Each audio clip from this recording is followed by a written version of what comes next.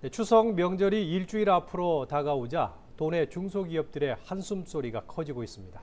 결제대금 지급과 직원 상여금 등으로 지출은 증가하는데 자금 사정은 여의치 않기 때문입니다. 보도에 김지우 기자입니다.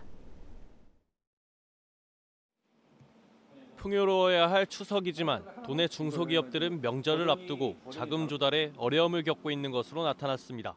중소기업 중앙회 제주지역본부가 도내 중소기업 56곳을 대상으로 추석 자금 수요를 조사한 결과 67.8%가 자금 사정이 곤란하다고 응답했습니다.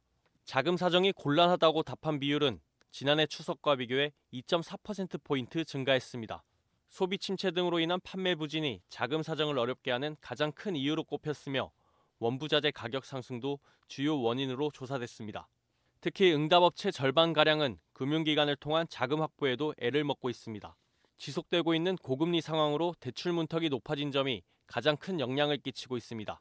이로 인해 도내 중소기업들은 올해 추석에 필요한 자금 1억 4천여만 원 가운데 절반 가까이를 확보하지 못한 것으로 나타났습니다.